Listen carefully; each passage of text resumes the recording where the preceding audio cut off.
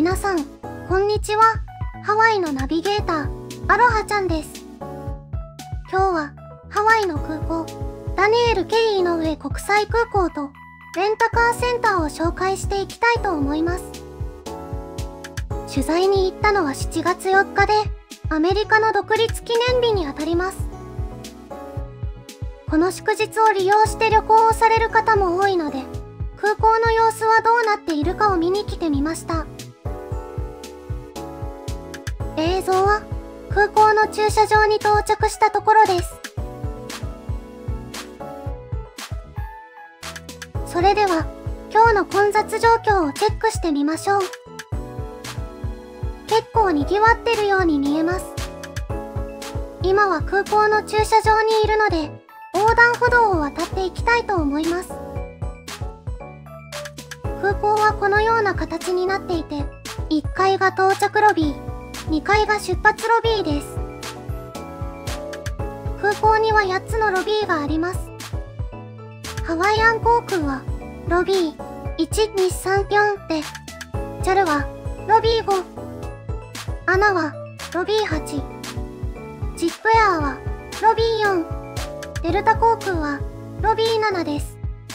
空港でレンタカーを借りる場合は、ここにレンタカーセンターがあります。歩いていくこともできますが、専用の無料シャトルバスも利用可能です。日本からハワイへ到着した時は、オレンジ色の場所、1階から外へ出てきます。ここに国際線の入国審査場や手荷物受取所があります。そして現在いる場所は、その向かいのインターナショナルパーキングガレージです。この横断歩道を渡ると国際線の到着出口です。横断歩道の途中には事前予約した車の乗り場があります。予約された方の名前を呼んでいますのでこちらに来られると良いでしょう。合流できたお客さんが続々とワイキキに向けて出発です。シャトルバスについては後ほど紹介します。それでは横断歩道を渡っていきます。たくさんの人が空港に到着されています。お空港出口はかなりの人です。みんなハワイに到着されたばかりで次の移動を待っているところだと思います。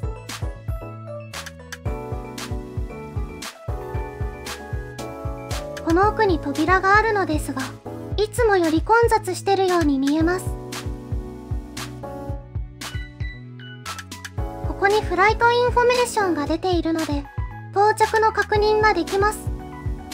日本からの飛行機は午前中に到着します。個人出口の近くには男性用と女性用のトイレがあります。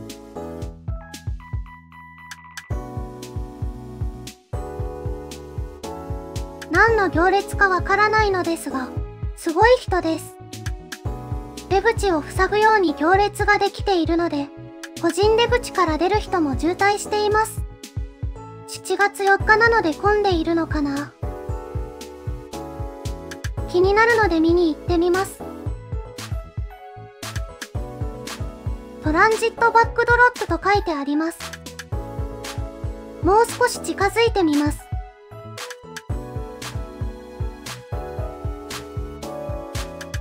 は離島へ行く人が乗り換えのため荷物を預けているようです。離島へ行く飛行機のロビーは少し遠いのでここで荷物を預かってくれるのはいいのですがかなりの行列になっていました。ハワイアン航空のターミナルは左方向でロビー123です。結構離島に行く人多いですね。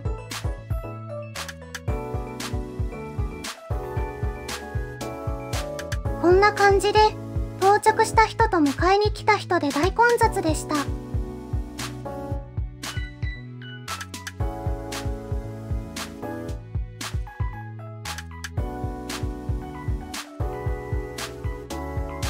出口を出ると、正面にはこのような案内板があります。左に行くとグループツアー。プリアレンジドというのが事前予約した車のことで、横断歩道の途中にあった場所です。右に行くとレンタカーやタクシー、レンタカーシャトルなどの乗り場があります。ここを左に行くと、団体出口がありますので、そちらも紹介してみたいと思います。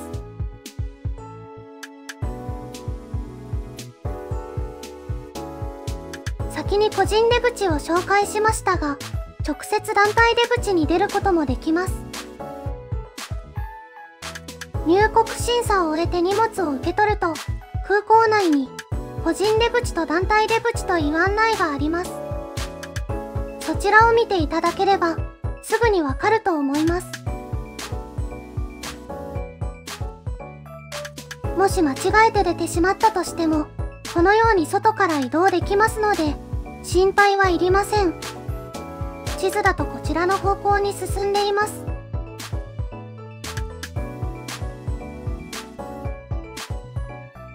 この辺りは少し暗くなってきます。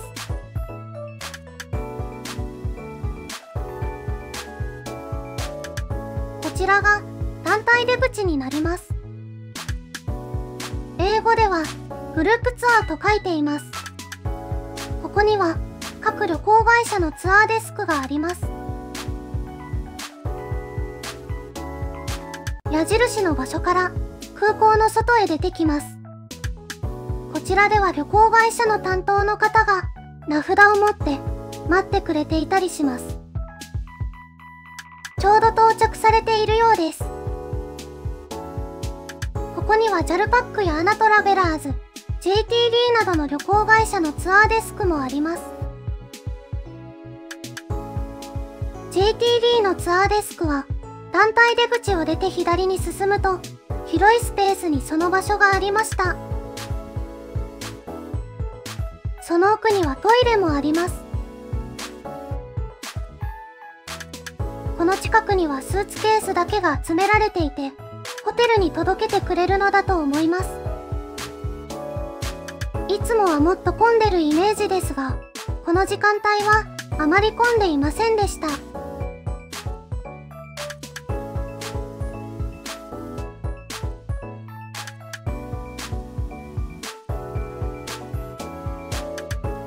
出口を出て右に行くと HIS レアレアのツアーデスクが見えてきました。こちらも広めのツアーデスクで遠くからでもよく見えるようになっています。ベンチには結構たくさんの人が待っている感じでした。ここから2階に上がると出発ロビーでウーバーや市バス乗り場があります。2階へはエレベーターエスカレーター階段でも移動することができます。2階に移動してきました。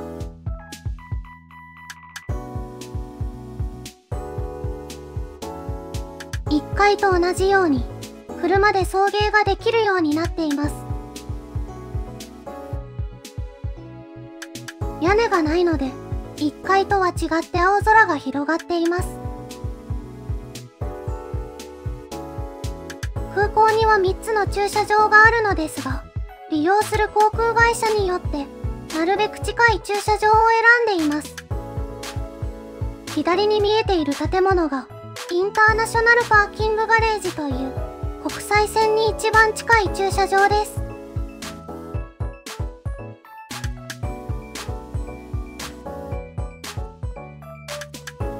この真下ぐらいが出発地点の横断歩道があった場所です。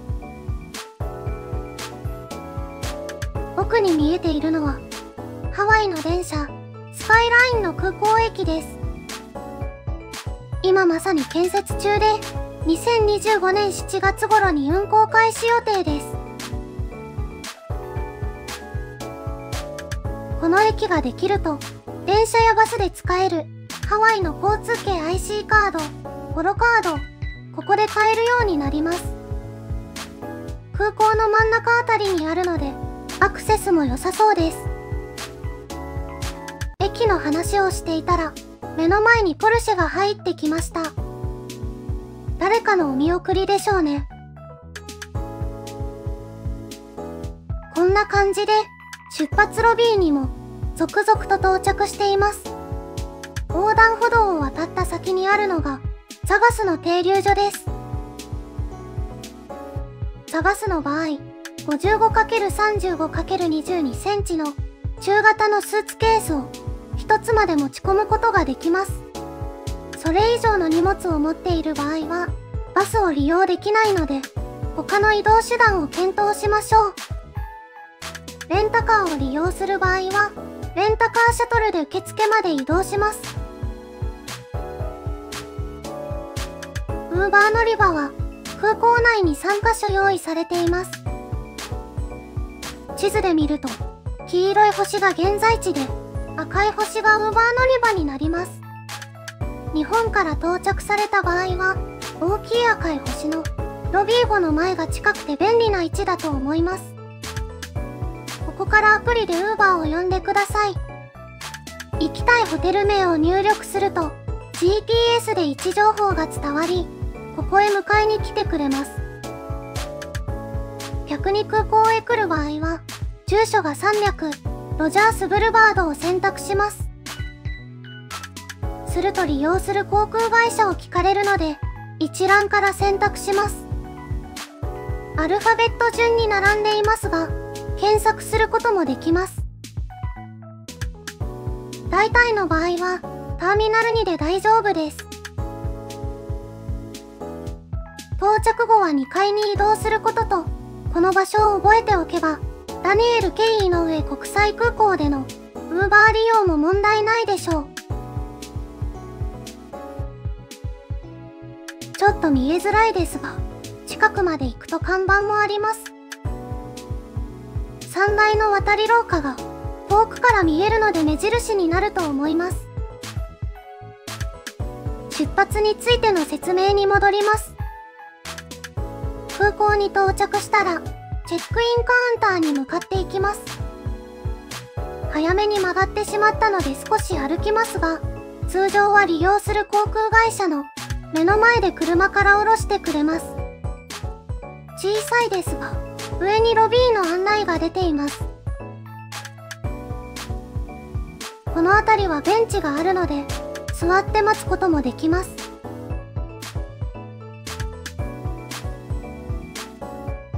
ロビーは右側です。2階には、これからハワイを出発される方が集まっています。来るたびに色々なところを工事していますが、中央にあったチェックインカウンターがなくなっていました。ここは新しくなっています。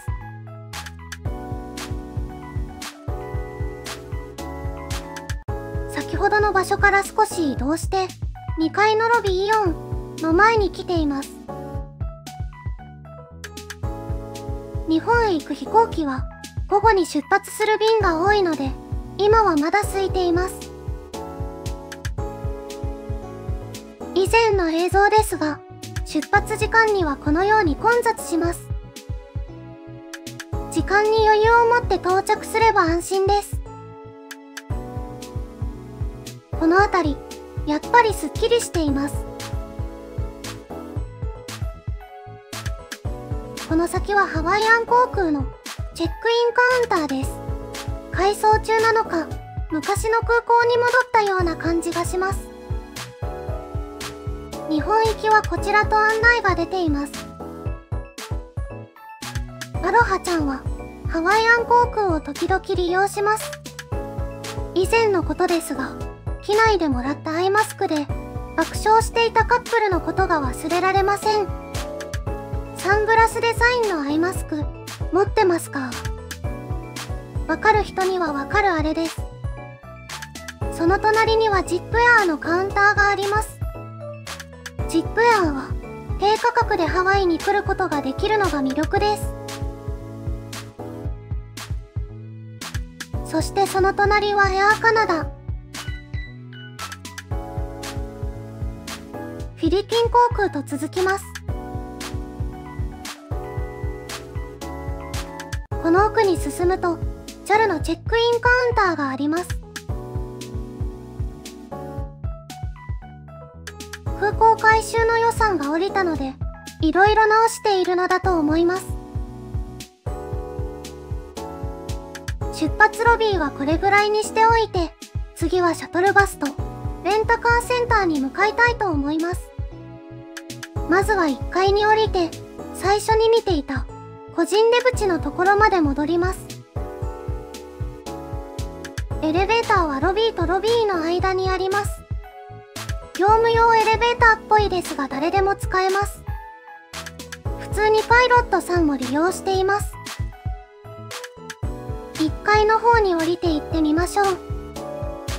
今は2階にいるので1階に降りるためにグランドレベルの G のボタンを押します。こういう表示は日本とは違うので分かりづらいかもしれません。このエレベーターは動きがゆっくりです。1階に到着しました。先ほど紹介したトイレの前に出ます。ここに個人出口があるのでそこからレンタカーセンターに向かいたいと思います。相変わらずたくさんの人で賑わっています。それでは出発します。個人出口を出て右側に行くとロバーツハワイという観光バス会社のワイキキシャトルがあります。こちらのバスは乗り合いで空港とワイキキの送迎サービスを行っています。撮影時の情報では空港からワイキキの片道料金が26ドルで標準サイズのお荷物2個と手荷物1個までは追加料金なしで利用することができるそうです。ロバーツハワイはハワイで有名なバス会社です。案内板を見てたらちょうどそのバスが到着しましたせっかくなので少し紹介しようと思います。柱にも黄色の看板で案内が出ていました。乗り場はこの先にあります。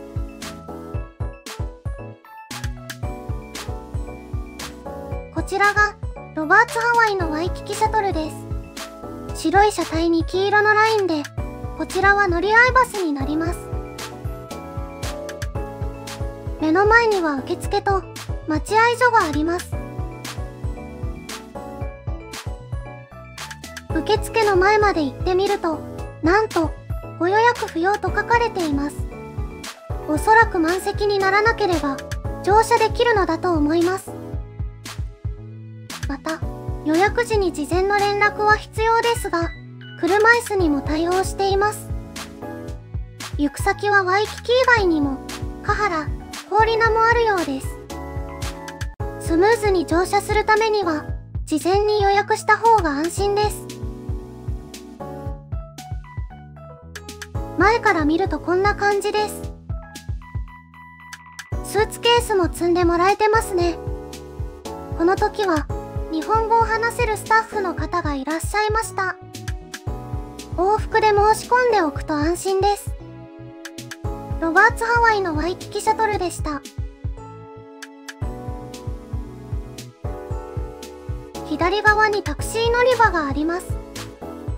通常のタクシーを利用されたい方はここから乗車できます。それではレンタカーセンターに向かっていきたいと思います。レンタカーセンターはレンタカーの手続きをよりスムーズにするために設計され2021年12月空港内にオープンしました。以前はレンタカー会社が空港の周囲に散在していましたが主要なレンタカー会社が1カ所に集まり利用者の利便性が大幅に向上しました。場所は先ほど紹介した個人出口から空港ロビーを通り過ぎた反対側の端っこにあります。歩いていくと徒歩約10分ぐらいで巡回している。無料のレンタカーシャトルでも行くことができます。レンタカーセンターは英語で Consolidated Rent-A-Car Facility と言います。変化のない看板を見ながら歩いていると、ここには、レンタカー、徒歩3分、と書かれています。レンタカーシャトルに乗った方が良かったかな、と思ってたら、この案内がありました。それほど時間はかかりませんが、景色が変わらないので遠く感じます。5倍速で移動します。前方にスーツケースを持った方がいらっしゃるのですが、荷物があるとさらに大変そうだなと思いました。見上げれば青空は見えるけど、かなかこの高架下の通路は長かったです。ようやく目的地が見えてきました。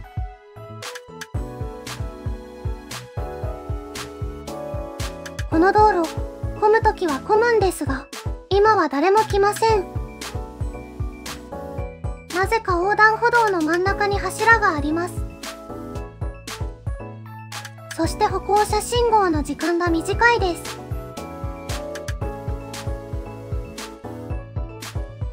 レンタカーセンターです。目的の場所は2階なので、エスカレーターで上がっていこうと思います。有名なレンタカー会社の名前がずらっと並んでいます。そして想像したよりも建築が凝っています。とっても綺麗ですね。エスカレーターは両方とも上向きで、奥にはエレベーターもありました。レンタカーのオフィスなのに、テーマパークのような作りになっていて、ちょっとテンション上がります。かかった時間は約8分でした。到着しました。2階に上がると、とても広々としています。左にはレンタカー会社がずらっと並んでいます。ハーツレンタカー、エイビスレンタカー、バジェットレンタカーなど、本当にたくさんのレンタカー会社があります。左右にトイレの案内も見つけました。ちょっと奥の方に行ってみようと思います。こちらはアメリカで有名なスリフティ。タラーレンタカーはロープが設置してありますが、多い時はここまで行列ができるのかな？それからアラモレンタカーとエンタープライズレンタカーも見えてきました。この辺りはアメリカだとよく見るレンタカー会社なのですが、有名な会社は日本にもありますね。とりあえず広いです。そしてこの奥にレストランがあっても不思議ではないです。とっても綺麗です。そしていろんなところから行けるようになっています。この奥にはトイレもあります。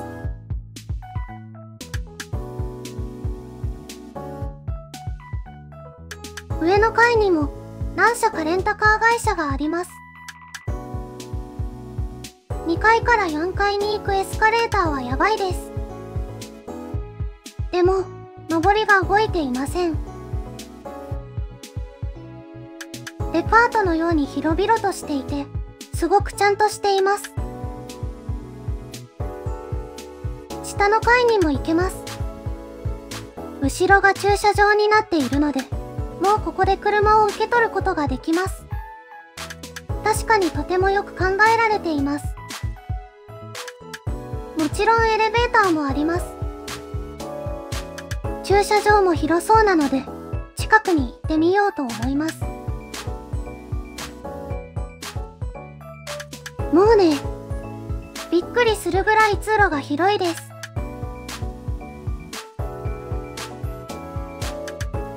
屋根付きの駐車場なので、車内は暑くないですし、荷物の積み下ろしも簡単です。ここは返却エリアですが、ここに持ってきて止めるだけです。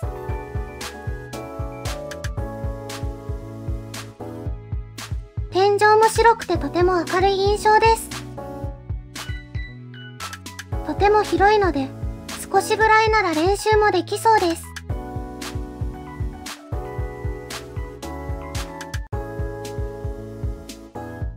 ここには待合スペースがあります。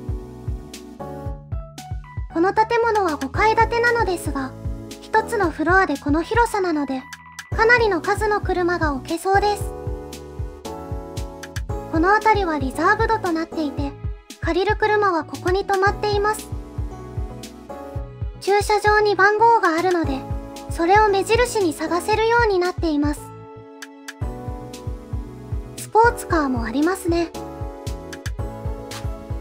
と思って見てたら、赤のマスタングが何台も出ていきます。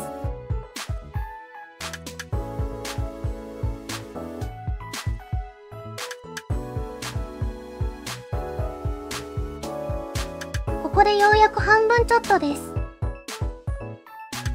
反対側も同じような作りになっています。レンタカーのオフィスだけにするにはもったいないぐらい豪華な建物でした。とても広いですが、レンタカー会社ごとの看板が出ているので、間違うことはないと思います。ちなみに、レンタカーを借りて外に出るときは、レンタカー専用のゲートがあります。さて、独立記念日のダニエル・ケイ・の上国際空港とレンタカーセンターを紹介してきましたが、いかがだったでしょうか？空港は賑わっていて、ハワイにはたくさんの人が来られていました。空港内では、レンタカーセンターとターミナルを、このような送迎バスが巡回しています。ハワイに到着した時は、レンタカーセンターまで送迎してくれますし、レンタカーを返却した後も、出発ロビーまで送り届けてくれますので、利用してみると良いでしょう。空港からレンタカーが利用できると、ハワイに着いてすぐに遊びに行けそうです。ちなみにハワイでは、日本の運転免許証で、車を運転することができます。ワイキキでも車をレンタルできますので、自由な旅を楽しむのもいい体験になると思います。過去にドライブ動画も公開していますので、よかったらご覧になってみてください。このチャンネルではハワイの観光地を定期的に紹介していきます。リクエストや質問などありましたらコメント欄よりお願いします。動画を見ていただきありがとうございました。この動画が参考になったよという方はいいね評価お願いします。それでは次の動画でお会いしましょう。